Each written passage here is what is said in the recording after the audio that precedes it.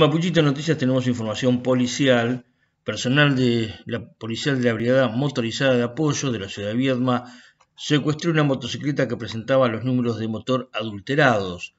Durante un control de rutina en calle Don Bosco, en la capital rionegrina, los uniformados detuvieron la marcha de una moto Yamaha DT conducida por un joven de 28 años. Los efectivos le solicitaron la documentación personal y del rodado al conductor, quien afirmó no poseerla y posteriormente cotejaron que la motocicleta presentaba los números de motor adulterados. En tal sentido, la Fiscalía en turno dispuso que se inicien las actuaciones de rigor de este hecho, repito, que ocurrió aquí en la capital provincial. Suscríbete a Mapuchito Noticias, ingresá a YouTube y allí buscas Mapuchito Noticias, te suscribís, le das clic a la campanita y estás informado 24/7.